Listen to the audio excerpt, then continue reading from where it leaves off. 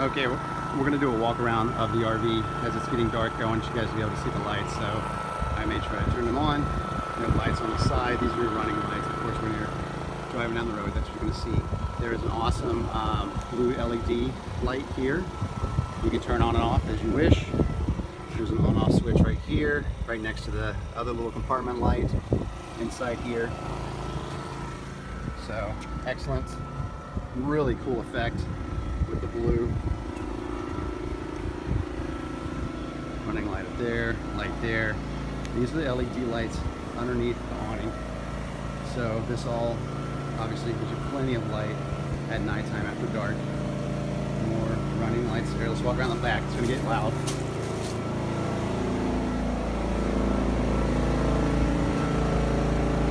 Lights work. Lights work. Lights work. Take a look.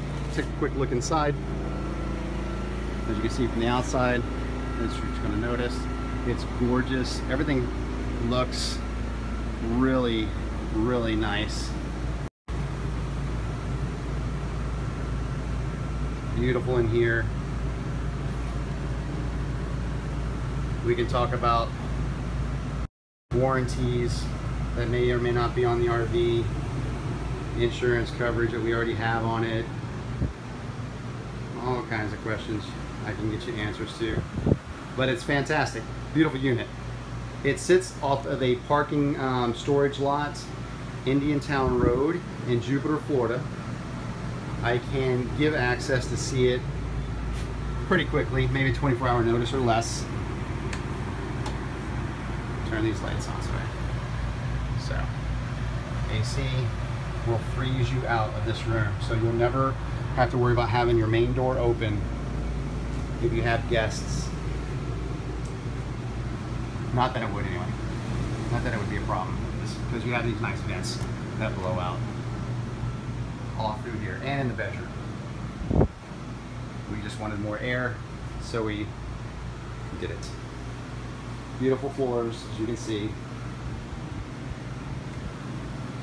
Everything's in pretty excellent shape, so any questions, please respond. This thing is not going to last very long, I can assure you, because we are selling it for a discount off of the original purchase price, and you might as well take advantage of it.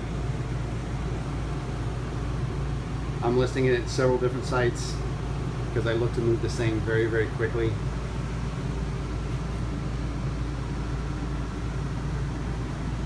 And that's it. Look forward to hearing from you.